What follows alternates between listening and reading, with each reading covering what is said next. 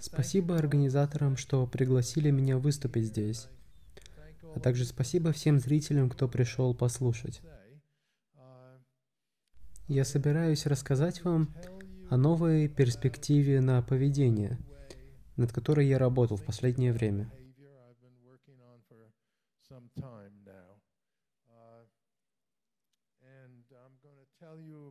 Я собираюсь рассказать о трех законах поведения, которые я называю законом распределения, законом индукции и законом ковариации.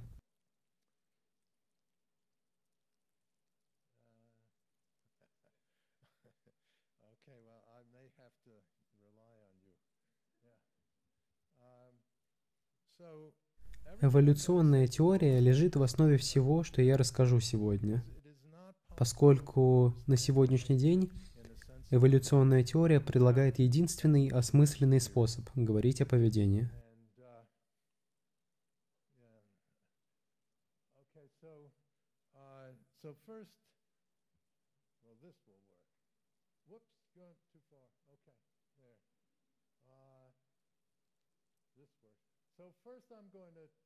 Прежде всего, я расскажу вам о том, что такое поведение с точки зрения онтологии, а следовательно, как нам стоит измерять поведение. Это подведет нас к продолжительной природе поведения.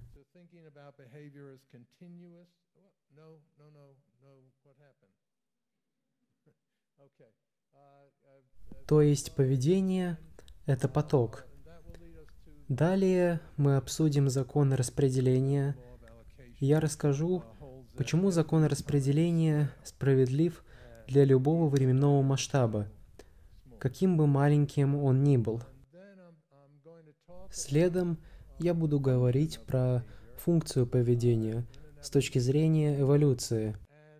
Это приведет нас к филогенетически важным событиям.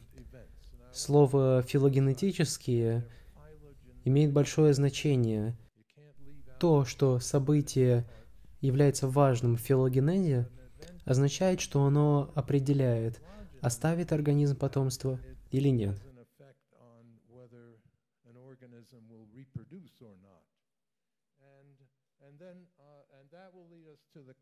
Далее мы обсудим концепт индукции и затем закон ковариации, который связан с адаптацией adaptation. Well, let me see. If, uh, let's see if this works. You know, this this doesn't work. Okay. Okay. All right. All right. So next slide. All right. So behavior. Behavior is. Поведение – это процесс. Процесс означает изменение на протяжении времени. Поэтому поведение — это поток, как река на изображении. И поэтому же поведение занимает время. Есть и другие причины думать о том, что поведение занимает время, но это самое фундаментальное. При измерении поведения мы измеряем время. Также следует знать, что активности... О да, кстати, я считаю единицей поведения активности, поэтому я не буду говорить о реакциях, я буду говорить об активностях. Активности растянуты во времени. Все происходящие активности занимают все свободное время. При этом время ограничено. День состоит из 24 часов – это означает, что активности соревнуются за время, что подводит нас к закону распределения.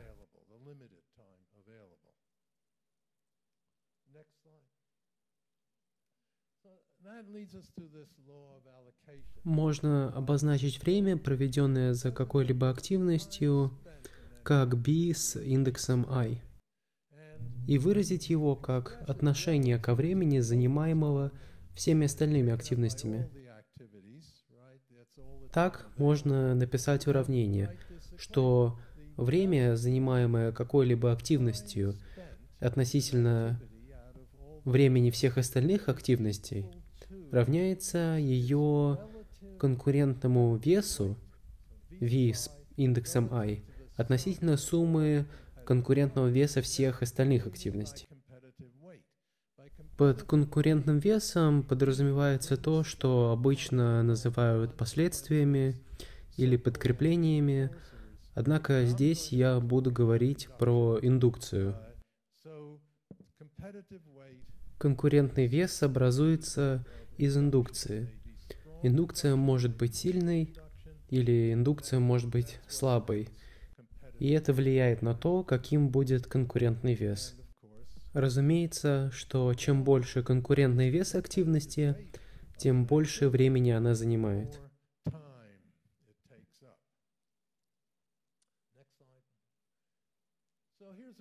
Вот удобная визуализация того, о чем я рассказываю. Представьте, что мы отслеживаем время, проведенное за четырьмя разными активностями. Добыча ресурсов, социализация – поддержание здоровья и время провождения с семьей. График показывает эпизоды активностей на протяжении четырех дней. Круговая диаграмма резюмирует эти активности. Видно, что большую часть времени занимает синий участок поддержания здоровья – затем красный участок добычи ресурсов и фиолетовый участок времяпровождения семьей, и, наконец, наименьший участок социализации. Это способ визуализировать распределение времени между активностями.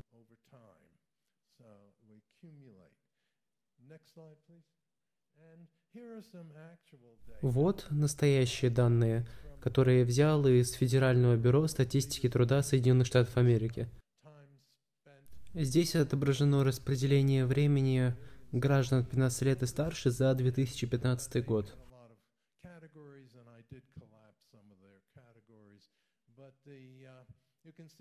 Большую часть времени занимает поддержание здоровья. Розовый участок отображает добычу ресурсов, Красный, связанный с репродукцией активности. Например, время с семьей и забота о детях. Зеленый сегмент отведен под взаимоотношения. Я взял один сегмент добычи ресурсов и поделил его на составные части. Желтый сегмент показывает проведенное за работой время, фиолетовый – это еда, темно-серые покупки и светло-серые образовательные активности.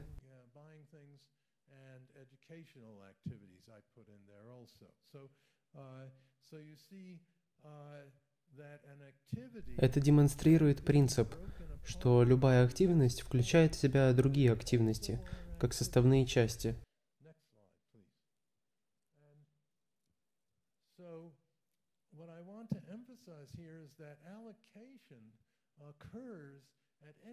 Я пытаюсь показать, что распределение времени происходит на любом масштабе. И дело в том, что одни активности занимают больше времени, чем другие. На прочтение книги требуется больше времени, чем на прочтение главы из книги. Чтобы любить кого-то, нужно больше времени, чем на поцелуй.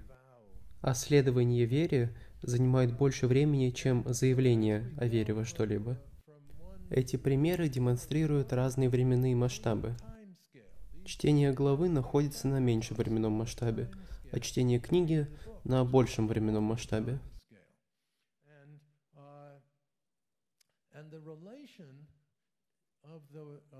Активности меньшего масштаба относятся к активностям большего масштаба, как часть относится к целому.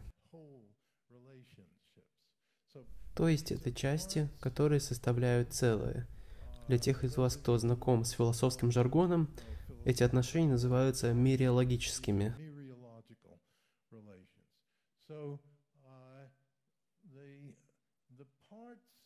Активности как части суммируются в единое целое, и в силу временных ограничений конкурируют за время.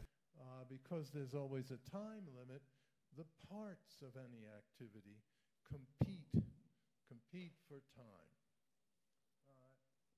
Uh, Подобным образом можно разобрать любую интересующую нас активность. uh, uh, Например, балет.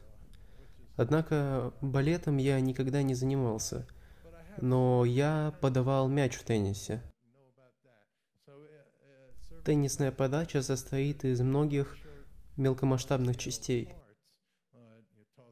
Необходимо подбросить мяч в воздух, выпрямиться, поднять ракетку, затем пустить ее и тому подобное. Все это части, которые составляют теннисную подачу как единое целое, а подача мяча, в свою очередь, является частью игры в теннис. Разумеется, каждый из нас знаком с планированием. should be if you're not. Все, что связано с планированием, касается распределения времени.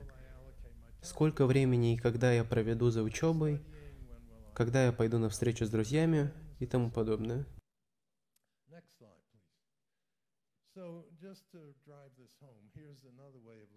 А вот альтернативная перспектива на ту же идею. Здесь мы отслеживаем четыре активности. Профессиональные, домохозяйство, личное время и друзья. Активности расположены по порядку в зависимости от того, сколько времени они занимают. Больше всего профессиональной активности, меньше всего времени на друзей. Я раздробил личные активности на их составные части. Здоровье, чтение, медитация, приготовление пищи, починка машины. Вы можете проделать то же самое со своими активностями. Эти части, в свою очередь, тоже состоят из других частей. Медитация состоит из дыхания, пения и сосредоточения. Любая активность состоит из частей, и перемещение слева направо – это перемещение по континууму масштабов от большего к меньшему.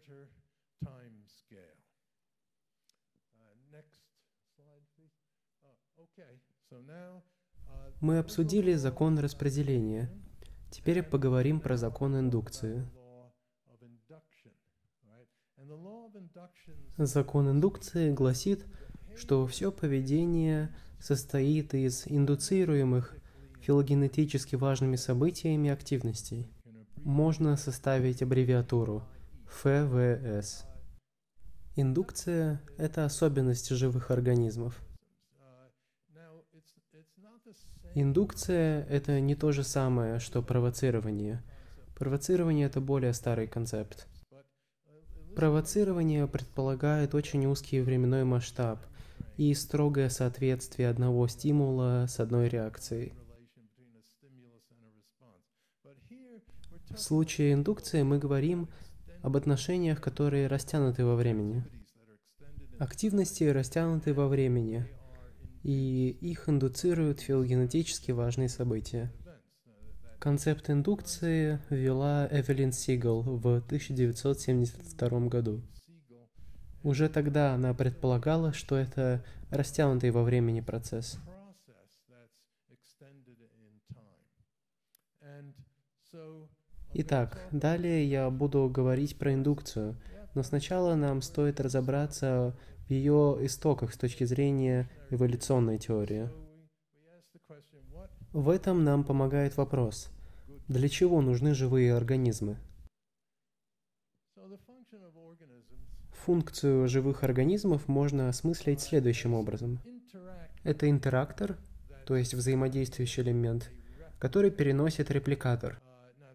Такую терминологию представил Дэвид Хоу, философ биологии. Репликатор – это элемент, который копируется. Здесь на ум мгновенно приходит ДНК.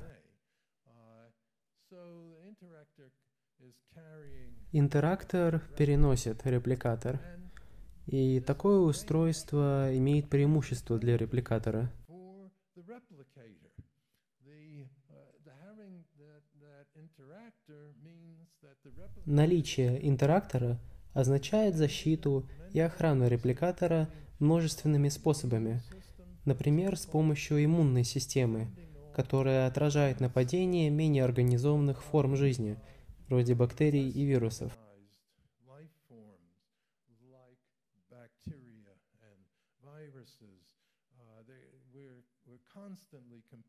Мы постоянно соревнуемся с менее организованными формами жизни.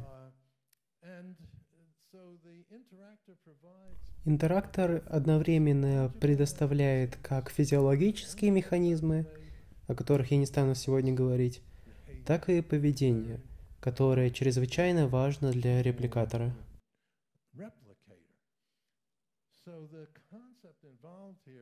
Поэтому, если задать вопрос, почему же вообще существуют живые организмы, ответ в том, что гены, делающие организмы, то есть они строят именно организмы, а не, например, бактерии, проходят естественный отбор, потому что создают более достоверные копии репликаторов, ДНК, что, разумеется, отражается на потомстве.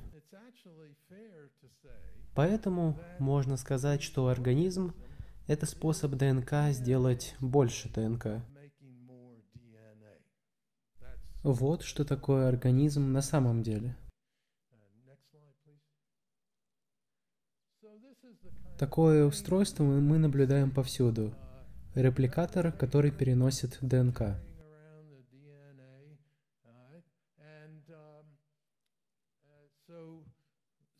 что this представляет is значительное преимущество для ДНК. DNA, as you can imagine, uh, and the uh, interactor has this function. Uh, next slide, please. And uh, so the D, the Интерактор обладает функцией воспроизведения.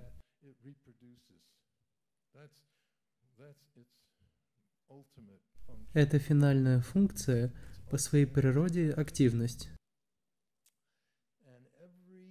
Все остальные активности интерактора – это части воспроизведения.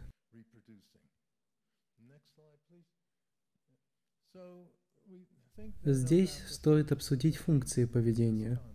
Как я уже сказал, финальная функция – это воспроизведение. Все поведение работает за счет событий, которые влияют на воспроизведение.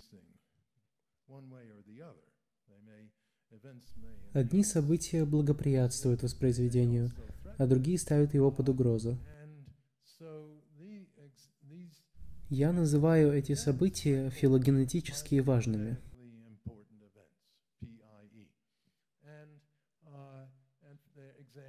Например, Потенциальный половой партнер, добыча или хищник.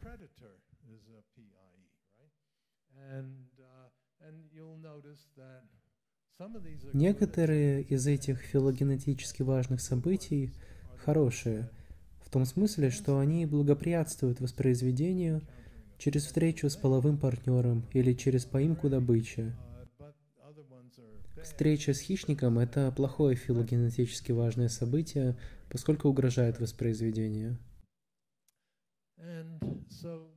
Филогенетически важные события индуцируют активности, составные части воспроизведения. Партнеры индуцируют ухаживание, добыча индуцирует охоту и употребление в пищу, хищник индуцирует укрытие и избегание.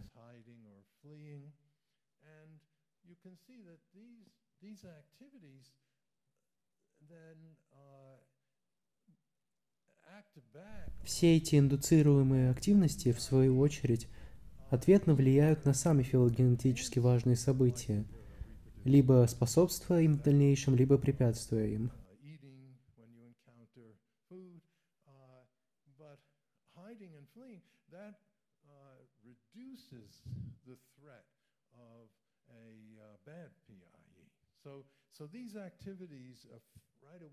Взаимодействие филогенетически важных событий и индуцируемых ими активностей встраивается в процесс естественного отбора, который воздействует на популяции. Uh, uh. Далее идут примеры филогенетически важных событий. Потенциальный партнер. Uh, потомство, of course, PIEs. Next slide. Uh, prey item, добыча. PIE. Uh, next slide, please. Human. Человеческая добыча славится разнообразием. Другие виды, другая разновидность добычи, вода и для птиц расположение гнезда.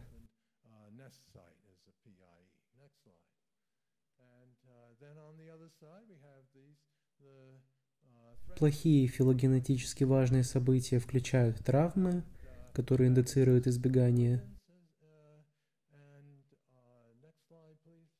Uh, Высота – это еще одна угроза воспроизведения. Хищники ядовитые организмы. В случае людей огромное количество филогенетически важных событий социальные. Человеческое лицо – это невероятный орган. Оно содержит множество мышц, которые допускают большое разнообразие выражений. Например, улыбка и смех. Задумывались ли вы когда-нибудь о том, почему люди смеются? Ведь если посмотреть, это действительно странно. Зачем издавать этот странный звук? Считается, что смех сигнализирует симпатию и согласие. И даже слепые от рождения люди улыбаются и смеются.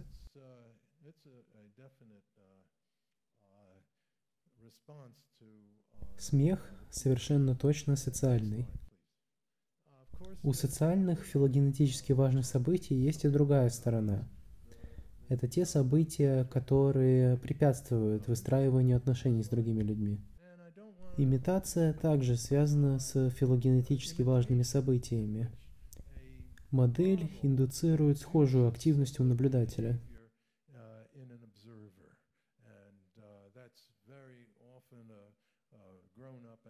Имитация широко распространена у детей, но также встречается у взрослых.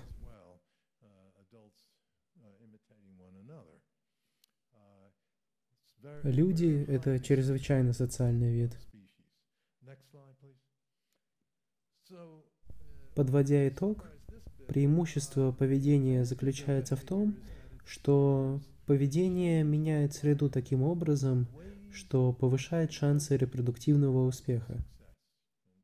Поведение либо напрямую способствует репродукции, либо препятствует барьерам к репродукции. Эти индуцируемые активности смягчают плохие филогенетически важные события, например, спрятаться, убежать или защищаться от хищника. Или же они улучшают хорошие филогенетически важные события, например, спариваться, искать пищу или охранять потомство. Все эти активности воспроизводятся в силу истории естественного отбора, филогенеза. Популяция, в которой эти активности распространены, с большей вероятностью выживет.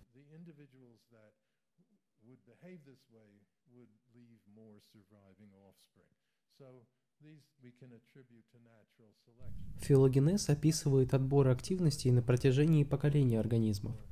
Но я также хотел бы обсудить антогенез, или адаптацию к среде внутри временных рамок жизни одного организма.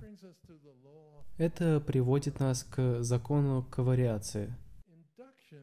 Индукция – это результат ковариации событий в среде. Ковариацию можно представить на эволюционном масштабе филогенеза, что приводит к идее естественного отбора. Ковариацию также можно представить на масштабе жизни отдельного организма, антогенеза, что приводит к идее адаптации.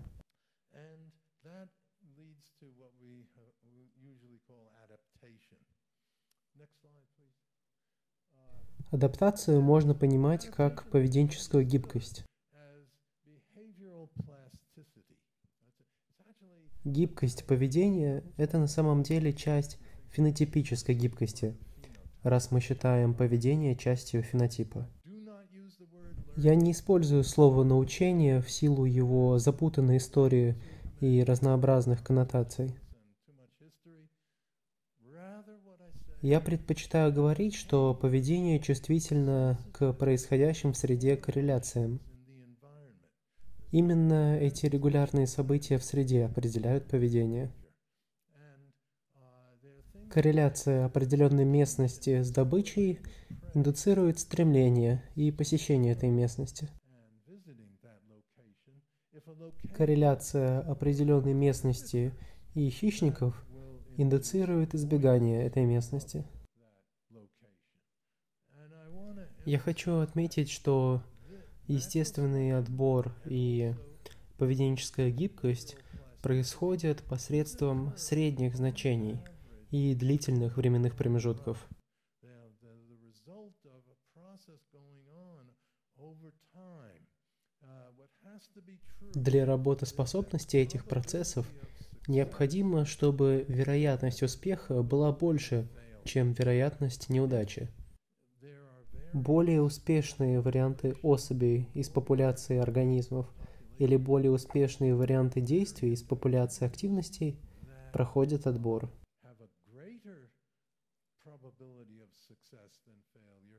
those will be selected. Слова корреляция и ковариация я использую взаимозаменяемо. Однако я предпочитаю термин ковариация из-за того, что он несет на себе меньше багажа.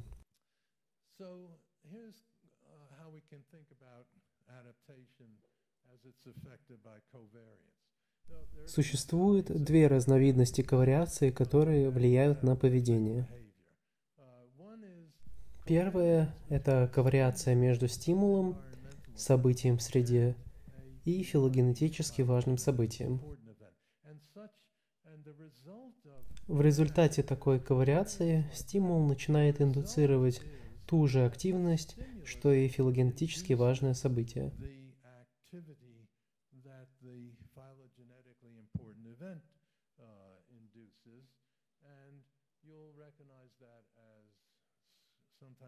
Иногда про это говорят как про условный стимул или как про дискриминативный стимул. Но так или иначе, когда мы говорим про стимульный контроль, на самом деле мы говорим о ковариации стимула и филогенетически важного события.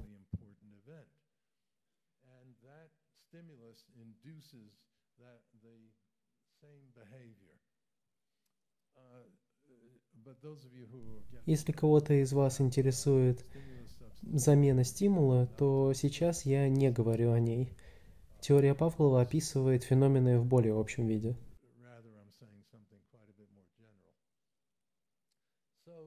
Вторая разновидность ковариации – это ковариация активности и филогенетически важного события.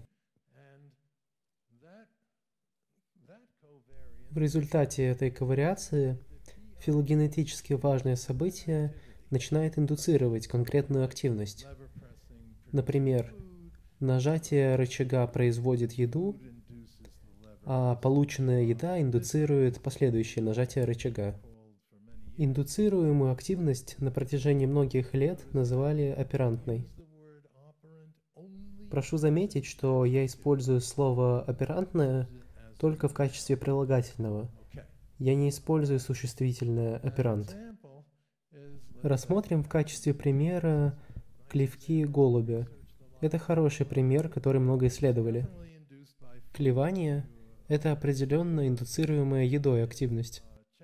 Если посадить голубя в камеру, в которой ничего не происходит, то через какое-то время он успокаивается. Однако, если начать давать ему кусочки еды, то голубь становится очень активным. Еда индуцирует разнообразные активности, но чаще всего голубь начинает клевать. Он будет клевать все подряд. Будет клевать болт в стене, будет, разумеется, клевать светящуюся кнопку, будет клевать даже воздух. Получается, что еда индуцирует клевание. Но клевание также можно сделать оперантной активностью.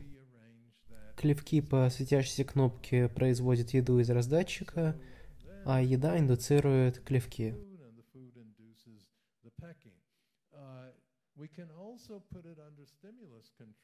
В случае стимульного контроля клевки можно сделать частью ковариации стимула и филогенетически важного события. Например, ковариация красного диска с едой и ковариация зеленого диска с отсутствием еды. При таких двух ковариациях голубь будет клевать только красный диск. Этот феномен можно назвать дискриминацией. Повседневным примером может быть встреча потенциального партнера, который индуцирует сексуальное возбуждение. Это можно отнести к естественному отбору, но ситуация также включает в себя оперантное поведение, которое называют глаголами «встречаться», «ухаживать».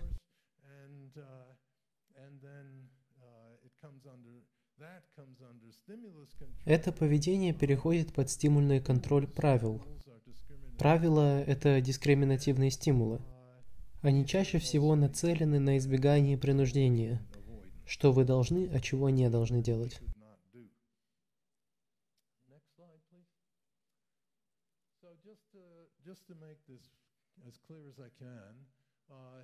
Вот первая разновидность ковариации – сигнала и филогенетически важного события. Ее результат – это условный индуктор – эта ковариация может быть отрицательной или положительной. При положительной ковариации частота филогенетически важного события растет и уменьшается вместе с частотой сигнала. Когда сигнала нет, частота низкая. Когда сигнал есть, частота высокая. Примеры положительной ковариации – это предупреждающие знаки, хищники – Паразиты находятся в положительной ковариации с заболеваниями, деньги с едой и другими благами, огнестрельное оружие с травмами. При отрицательной ковариации, в отсутствие сигнала, частота филогенетически важного события высокая, а в присутствии сигнала низкая. Примеры отрицательной ковариации – это пары дистанция хищник паразиты испаривания, а также пары наступления зимы и доступности пищи.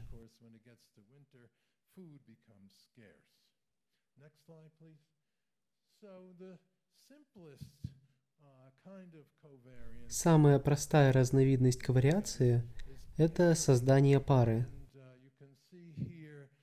Как показывает слайд, этот слон будет гораздо более аккуратным – когда в следующий раз подойдет к этому водоему.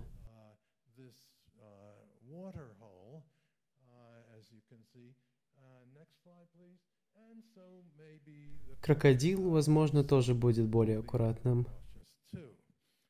Эта ковариация существует как в таких простых формах, так и в более сложных.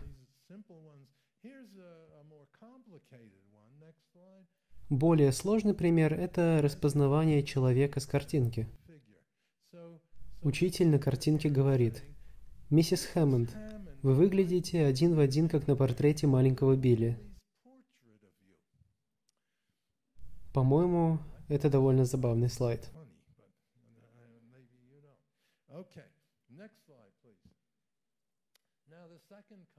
Во второй разновидности ковариации – так называемой оперантной активности, частота филогенетически важного события меняется вместе с частотой активности.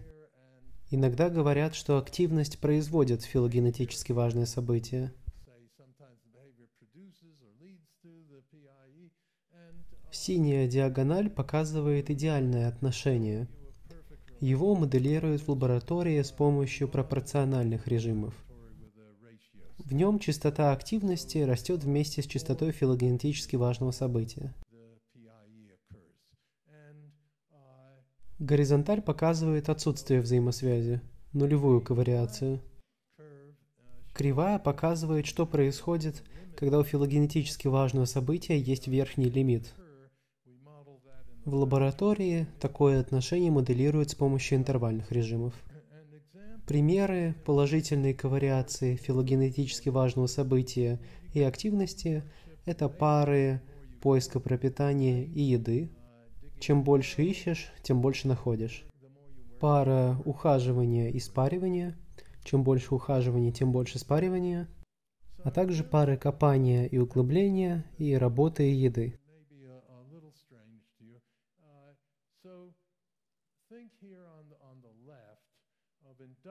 Слева на диаграмме показана индукция. Окружающая среда предлагает определенный стимул, например, еду, которая при столкновении с организмом индуцирует разнообразные активности. Прямо как в том примере с голубем.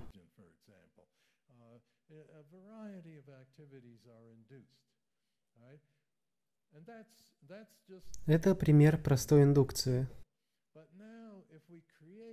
При возникновении ковариации, то есть когда индуцируемая активность производит филогенетически важное событие в среде, то петля замыкается.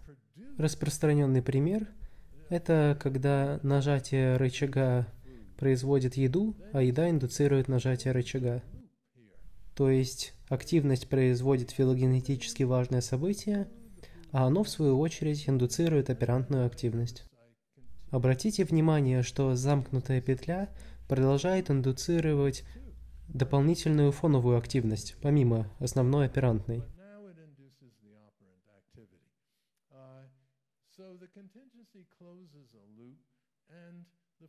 Резюмируя, ковариация смыкает петлю. Активность производит филогенетически важное событие, а филогенетически важное событие индуцирует активность и так далее один круг за другим. Я также хочу отметить исчезновение различия между предшествующим поведению событием, триггером, и последствием поведения. Эти взаимосвязанные события в равной степени предшествуют и следуют друг за другом. По этой причине я считаю разговор о последствиях ошибочным, несмотря на то, что все так говорят. Для полноценной картины стоит добавить про отрицательную ковариацию частоты филогенетически важных событий и частоты индуцируемой активности. В случае плохих филогенетически важных событий разговор идет об избегании, а в случае хороших филогенетически важных событий разговор идет о неудачах. Все три предыдущих тезиса остаются в силе – Диагональ показывает идеальное отношение на пропорциональных режимах, кривая показывает интервальные режимы, и горизонталь, разумеется, показывает отсутствие взаимосвязи. Примеры такой отрицательной ковариации – это пары укрытия и хищника, неуклюжести и добычи, привередливости и болезней, Избегание ядовитой пищи – это довольно распространенный случай. Я уверен, что в зале есть люди, которые хоть раз отравились едой, и в силу этого сформировались их вкусовые предпочтения. Когда вас тошнит всю ночь, съеденная еда теряет свою привлекательность. И, разумеется, пара агрессии и конкурентов.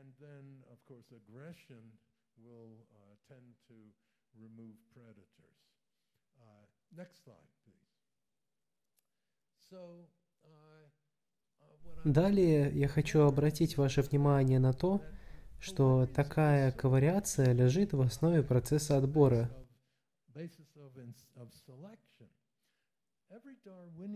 Любой дарвиновский процесс состоит из трех элементов. Первый – это вариация, которая происходит внутри популяции. Например, популяция мышей.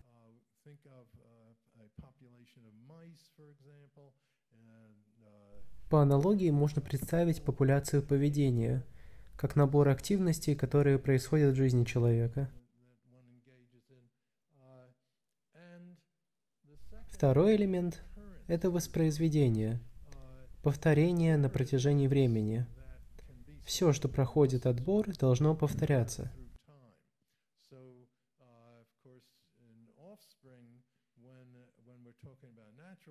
В случае естественного отбора это потомство, а в случае поведенческого отбора речь идет о так называемых привычках, которые повторяются из раза в раз. Третий элемент – это отбор. Отбор, по сути, означает дифференциальное или конкурентное повторение. Разговор об отборе поведения – это разговор про дифференциальную или конкурентную индукцию. Когда одна активность индуцируется сильнее, чем другая, то это увеличивает частоту этой активности относительно всех других. При этом стоит учитывать, что активности соревнуются за время. То есть, если время на одну активность увеличивается, то вместе с тем сокращается на все другие. Итак, об отборе можно думать как о филогенетической ковариации. Речь идет о ковариации определенных биологических черт с приспособленностью. Например, индуцируемая активность совершенно точно находится в положительной ковариации с приспособленностью, если точнее, с репродуктивным успехом.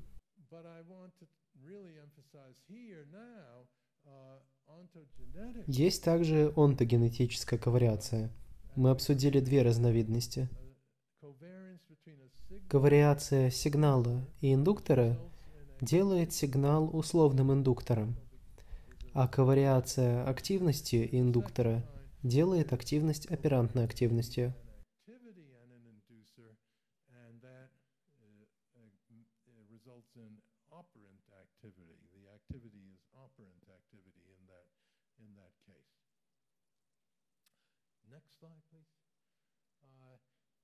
Возникновение ковариации сопровождают два эффекта. На графике показано фоновое условие при отсутствии ковариации, а также частота оперантной активности, например, нажатие рычага.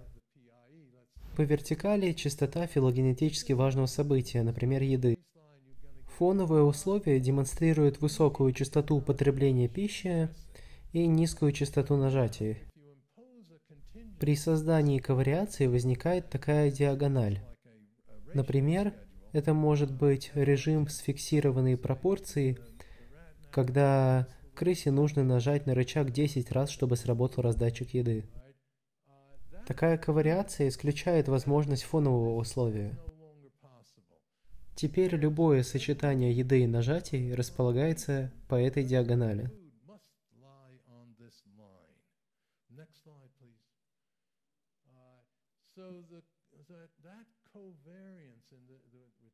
Получается, что ковариация, отображенная в виде диагонали, создает ограничение. Ожидаемый результат такой ковариации в том, что поведение двигается от фонового условия к какой-либо точке на диагонали.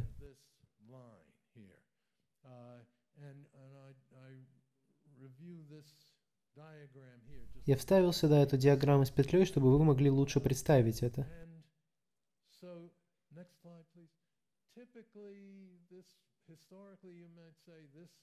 Исторически эту динамику могли бы назвать подкреплением. Я поставил слово в кавычки, поскольку мне не нравится его использовать. Однако на самом деле в этом случае происходит снижение частоты филогенетически важных событий. Чтобы быть последовательным, пришлось бы сказать, что эта ковариация наказывает частоту употребления пищи. Я считаю, что это не самый осмысленный способ взглянуть на эту ситуацию, однако это именно то, что приходится сказать. Еще я хочу сказать, что ковариация связывает. То есть нажатие рычага – это оперантная или индуцируемая активность, а еда – это филогенетически важное событие, которое индуцирует нажатие. Еще ковариация ведет отбор. Этот тезис основан на том, что активность производит филогенетически важные события. И в этой замкнутой петле активность необходима, она играет ключевую роль.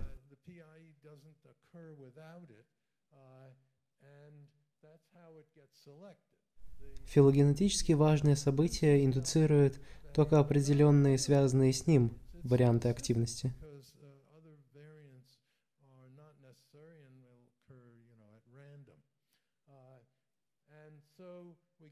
Итак, мы имеем дифференциальную или конкурентную индукцию, которую можно сравнить с дифференциальной или конкурентной репродукцией в ходе естественного отбора.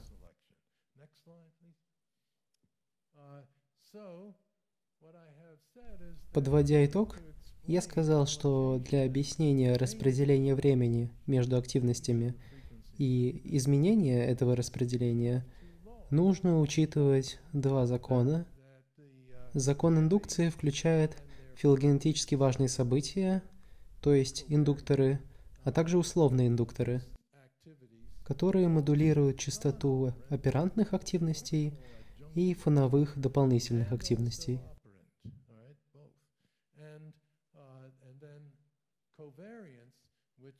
Закон ковариации описывает, как происходит отбор активностей через ковариацию активности и филогенетически важных событий. На сегодняшней лекции я рассказал про три закона. Закон распределения говорит, что нужно измерять, поскольку поведение – это непрерывный поток, который растянут во времени. Поскольку активности соревнуются за время, то измерять следует отношение времени, проведенного за различными активностями. Далее индукция, которую традиционно обсуждают под видом последствий, которая существует благодаря филогенезу и происходит в онтогенезе посредством филогенетически важных событий. Индуцируемые активности включают как оперантные, так и дополнительные фоновые активности. Закон ковариации объясняет процесс адаптации к меняющейся среде. Он включает в себя две разновидности ковариации. Ковариация активности и филогенетически важного события, то, что ранее называли оперантной активностью, и ковариация сигнала и филогенетически важного события – то, что ранее называли стимульным контролем. Спасибо за ваше внимание.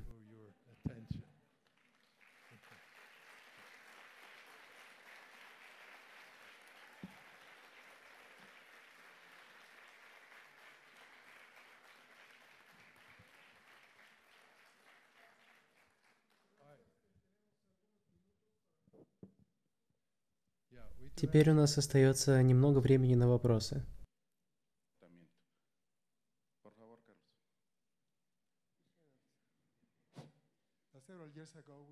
Вопрос об изученном ранее концепте дистрибуции и как он сочетается с дистрибуцией поведения в пространстве.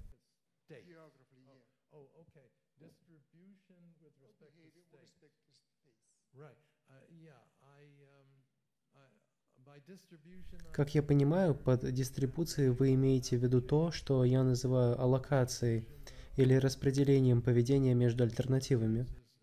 Правильно ли я вас понял? Я имел в виду сам факт физического пространства. Поведение соревнуется за время, но ведь в этом процессе еще участвует пространство.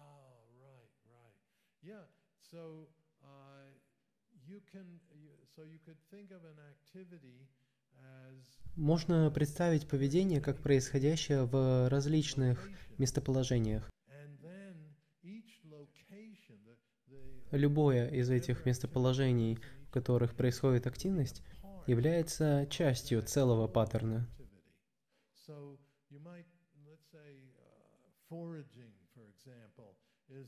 Например, поиск пропитания – это активность, которая происходит во многих различных местоположениях. Foraging in a particular Поиск еды в конкретном месте – это часть поиска еды в целом, как паттерны.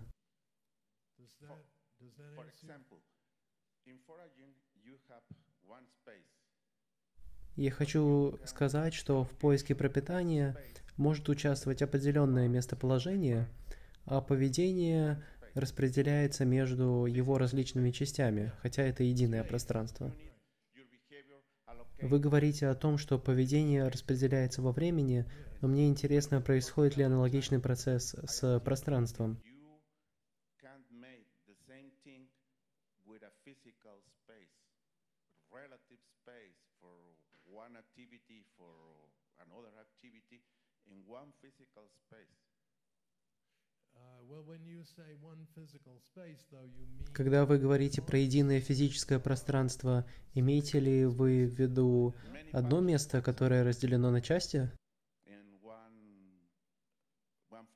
Да, например, э, один лес, который разделен на отдельные участки. Хорошо, тогда представим лес с отдельными участками, на которых охотится хищник. So, foraging in that forest, Его охота в этом лесу – это одна активность, а охота на определенном участке, например, северо-восточном, это часть этого паттерна, так же, как и охота на любом другом участке этого леса. foraging at other uh, uh, locations. Uh, so, so that's that's the Так я представляю себе эту ситуацию. Есть общее время, проведенное за охотой, и время, проведенное за охотой в отдельных местах, складывается в это общее время. Охота в различных местах, как части общего паттерна охоты, соревнуются друг с другом за время. Если охота на одном участке идет лучше, то у нее будет больше конкурентного веса. Поэтому охота там будет происходить чаще и, возможно, более длительными периодами.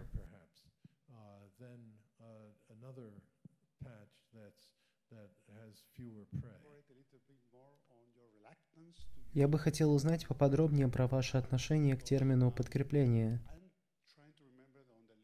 Я помню из литературы по павловскому обусловливанию, что люди, работающие из этой области, хотят называть условный стимул как последствие или даже подкрепление. Несмотря на то, что между предшествующим событием и последствием нет причинной связи.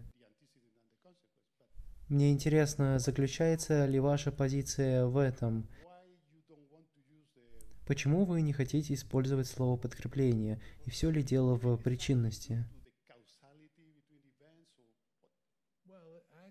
Все дело в метафоре усиления.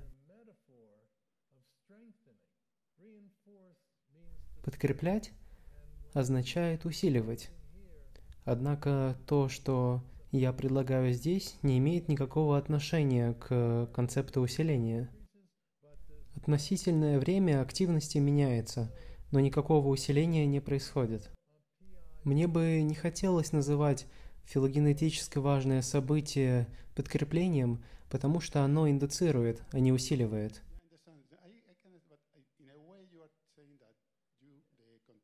Но когда вы описываете ковариацию или корреляцию, которая замыкает петлю, разве речь идет не об усилении? Мы же говорим, что поведение становится больше или меньше. Разве это не усиление?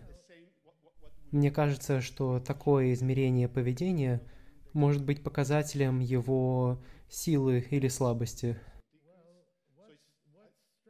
Вопрос в том, что именно усиливается. Когда мы начинаем говорить об усилении, что же усиливается? Мне это непонятно.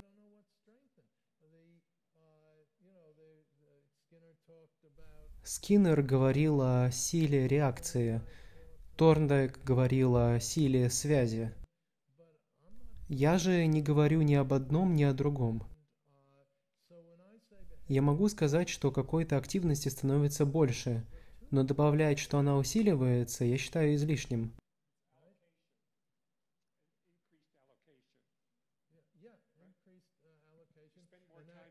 Меняется распределение из-за предпочитаемого события. Да, предпочитаемое – это не совсем точно. Я говорю филогенетически важное событие. Но вы абсолютно правы. Если какая-то активность индуцируется сильнее остальных, то она начинает занимать больше времени. Я считаю, что язык, то, как мы формулируем, имеет важное значение. Поэтому вместо того, чтобы сказать «организм начинает проводить больше времени за какой-то активностью», я говорю, что какая-то активность начинает занимать больше времени. Это нюанс, но он очень важный.